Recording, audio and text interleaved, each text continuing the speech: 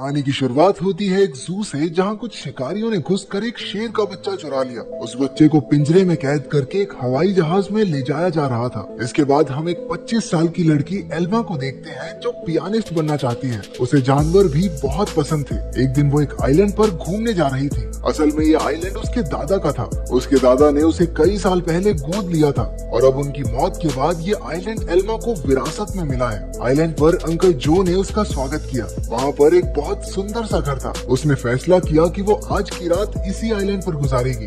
रात के समय अपने दादा की वीडियोस देखकर एल्मा का दिल भर आया एक वीडियो में उसके दादा ने बताया कि स्नो नाम की एक मादा भेड़िया कुछ साल पहले न जाने कहाँ से इस आइलैंड पर आ गई थी और समय के साथ उन दोनों में गहरी दोस्ती हो गई। दादा ने एल्मा से कहा कि वो भी स्नो को ढूंढ कर उससे दोस्ती कर ले। उस रात शेर के बच्चे वाला प्लेन बेहद खराब मौसम की वजह से उसी आइलैंड पर क्रैश हो गया। क्रैश की आवाज़ सुनकर एल्मा डर गई और उसने बाहर जाकर देखा, लेकिन वो आइलैंड बहुत बड़ा था तो उसे कुछ नहीं मिला।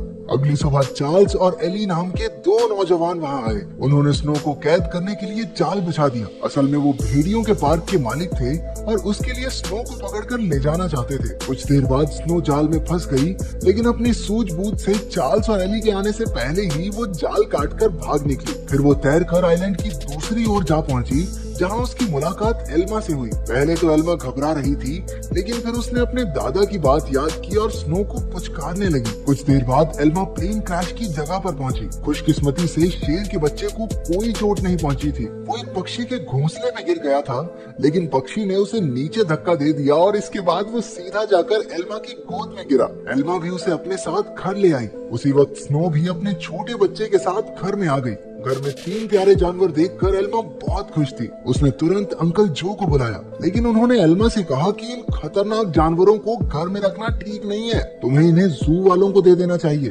अंकल ने ये भी बताया कि शेर के बच्चे को ढूंढते हुए जू के कर्मचारी वहाँ ज़रूर आएँगे। और हुआ भी बिल्कुल वैसा ही। अगले दिन एनिमल कंट्रोल वाले वहाँ पहुँच गए। वो जानती थी कि जू वाले कितने बेरहम होते हैं। इसलिए उसने फैसला किया कि वो उन्हें जानवरों के बारे में कुछ नहीं बताएगी। उसने झूठ कह दिया कि उसने किसी शेर के बच्चे को नहीं देखा। घर लौटकर उसने देखा कि स्नो अपने बच्चे के साथ साथ शेर के बच्चे को भी दूध पिला रही थी। उसे बेहद खुशी हुई क्योंकि अब स्नो दोनों बच्चों का ख्याल रख रही थी। जैसे जैसे दिन बीतते गए, दोनों बच्चों में दोस्ती बढ़ती रही। एल्मा ने भेड़िए के बच्चे का नाम जैक रखा और शेर के बच्चे का नाम ड्रीमर। उधर अंकल जो को चिंता थी कि ये जंगली जानवर एल्मा को कोई नुकसान न पहुँचा दे। लेकिन इसी तरह कुछ महीने गुजर गए और अब दोनों बच्चे थोड़े बड़े हो चुके थे। एल्मा उन्हें आइलैंड पर घुमाने ले जाती और अपने दादा की मनपसंद जगह पर उनके साथ खेलती भी थी। बदकिस्मती से एक दिन जब एल्मा पियानो के एक ऑडिशन के लिए गई थी तो पीछे से वो भेड़िए के पार्क वाले आइलैंड पर घुस गए। इस बार वो स्नो को कैद करके अपने साथ ले ही गए।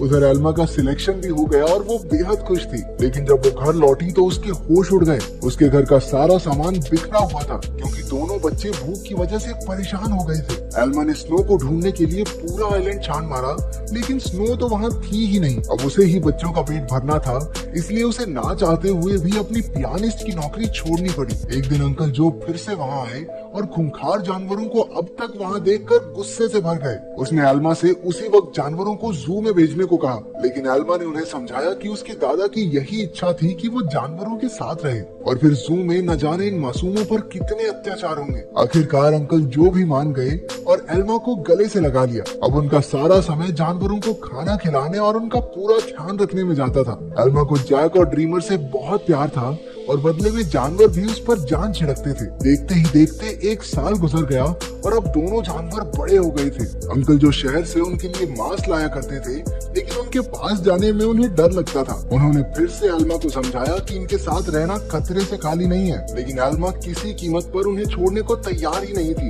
एक दिन एक माँ बेटी कश्ती में आइलैंड के नज़दीक आई। उन्हें देखकर जैक उनके पास जाने लगा। जैसे ही एल्मा ने ये सब देखा, वो जैक को रोकने के लिए भागी, लेकिन वो एक पत्थर से टकराकर नीचे गिर गई और उसके सर में चोट लगने की वजह से वो उसी वक्त बेहोश भी हो गई। वो माँ बेटी ये सब नहीं देख पाई और वापस कश्ती में चली गई। कुछ ही देर में जैक और ड्रीमर एल्मा के पास आए और उसे उठाने की बहुत सी कोशिशें की, लेकिन कोई फ़ायदा नहीं हुआ। वो कई घंटों तक ज़ोर ज़ोर से आवाज़ें लगाकर मदद के लिए पुकारते रहे, लेकिन कोई नहीं आया। जल्द ही रात हो गई और दोनों जानवर एल्मा से सटकर बैठ गए। उन्होंने पूरी रात जाग कर एल्मा को गर्माहट दी। अगली सुबह अंकल जो ने एल्मा को कई बार कॉल की लेकिन कोई जवाब न मिलने पर वो समझ गए कि कुछ तो गड़बड़ ज़रूर है। वो तुरंत आइलैंड पर पहुँचे। उन्हें लगा कि ज़रूर इन जंगली जानवरों ने एल्मा पर हमला कर दिया होगा। इसलिए उन्होंने एनिमल कंट्रोल वालों को कॉल कर दिया। लेकिन जब उन्हें एल्मा बेहोश मिली और जानवरों को उसकी रक्षा करते देखा तो उन्हें अपनी इस हरकत पर बहुत पछतावा हुआ। इसके बाद जब एल्मा को हॉस्पिटल ले जाया गया तो डॉक्टर ने उन्हें बताया कि अगर जैक और ड्रीमर ने उसे गर्माहट न दी होती तो शायद वो आज ज़िंदा न होती। उधर एनिमल कंट्रोल वालों ने जैक को पकड़कर इलाई और चार्ल्स को सौंप दिया। उन्हें एहसास हो गया कि जैक तो स्नो का ही बच्चा है। वहीं ड्रीमर को एलन नाम के एक आदमी को बेच दिया गया।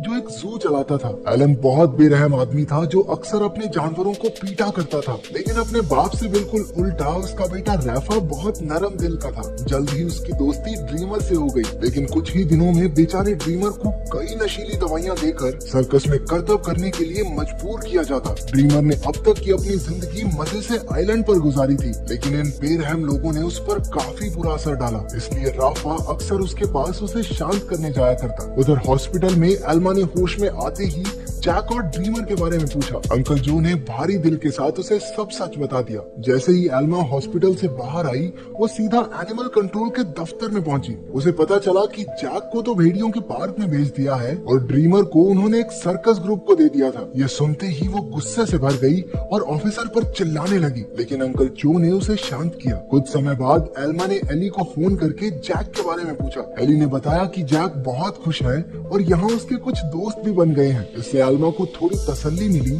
लेकिन अब भी वो ड्रीमर के लिए बहुत परेशान थी। अगले कुछ हफ्तों तक वो शहर की हर एक सर्कस में गई और सबसे ड्रीमर के बारे में पूछताछ की, लेकिन कुछ हाथ नहीं लगा। उधर ड्रीमर की वजह से एलन की मोटी कमाई होने लगी थी। ड्रीमर जल्द ही स्टार लॉयन के नाम से मशहूर हो गया। एक दिन ड्रीमर का सर्कस ग्रुप भेड़ियों के पार्क के पास से गुजर रहा था और जैक ने तुरंत अपने बचपन के दोस्त को पहचान लिया। जैक अपनी सूझबूझ से पिंजरे से बाहर निकल गया। एली ने जब ये देखा तो वो समझ गया कि जैक बेहद समझदार है और वो ज़रूर कुछ ना कुछ ढूंढ रहा है। जल्द ही जैक उस तक पहुँच गया जिसे वो ढूंढ रहा था। उसने बड़ी चालाकी से ड्रीमर को भी पिंजरे से छुड़ा लिया। इतने महीनों के बाद एक दूसरे से मिलने पर दोनों जमकर खेले। जब एलन को ड्रीमर के भागने का पता चला तो उसने गुस्से में बेहोश करने वाली बंदूक निकाल ली। उसके बेटे राफा ने उसे रोकने की बहुत कोशिश की, लेकिन लालची एलन ने उसकी एक ना सुनी। हार कर राफा भी ड्रीमर को ढूँढने एलन के साथ चल पड़ा। एलन ने एली को भी ड्रीमर के बारे में बताया। अब वो समझ गए थे कि जैक और ड्रीमर दोनों साथ ही हैं। इसी वजह से पूरे शहर में हाई अलर्ट जारी कर दिया गया। उस शाम एली ने एल्मा को सब कुछ बताया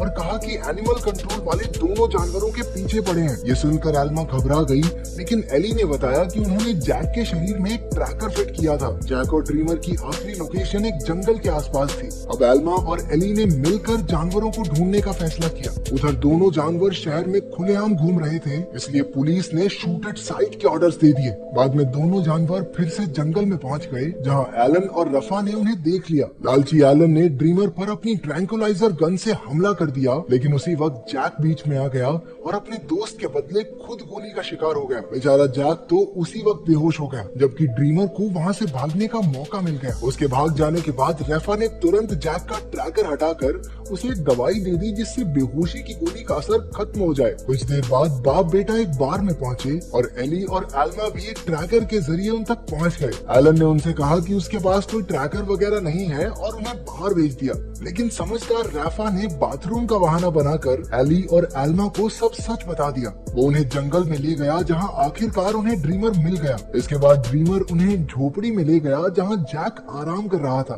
खुशकिस्मती से उसे सही टाइम पर होश आ गया था। लेकिन तभी उन्हें पुलिस के आने का शक हुआ तो एल्मा ने दोनों जानवरों को खुफिया रास्ते से भगा दिया। अब आइलैंड तक पहुँचने के लिए उन्हें सिर्फ़ एक नदी पार करनी थी। पुलिस से बचने का एक यही रास्ता था, लेकिन वहाँ कोई कश्ती नहीं थी, इसलिए सबको तैर कर ही जाना होगा। जैक तो उसी वक्त फुर्ती से नदी में तैरने लगा, लेकिन ड्रीमर पानी से डरता था। एल्मा ने उसे हिम्मत देने की बहुत कोशिश की, लेकिन ड्रीमर वापस जंगल की ओर मुड़ गया। जैसे ही जैक और अल्मा तैर रहे थे उन्हें बंदूक चलने की आवाज़ सुनाई दी। इसका मतलब ये था कि ड्रीमर अब इस दुनिया में नहीं रहा। आइलैंड पर पहुँच कर एल्मा फूट फूट कर रोने लगी, लेकिन ड्रीमर अचानक उसके सामने आ गया। असल में वो जंगल में पुलिस वालों को भटकाने के लिए गया था। उसे ज़िंदा देखकर सभी खुशी से झूम उठे। आखिर एल्मा ने जैक और ड्रीमर के लौटने की खुशी में पार्टी में पियानो बजाया। अब उनका परिवार पूरा हो गया था। अंत में एल्मा ने सबको अपने प्यारे जानवरों की कहानी बताई जिससे सभी लोगों के दिल भर आए और वो तीनों खुशी खुशी फिर से एक साथ रहने लगे।